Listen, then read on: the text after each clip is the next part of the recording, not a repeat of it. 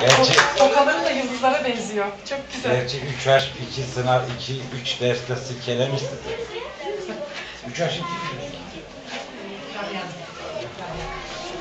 Akif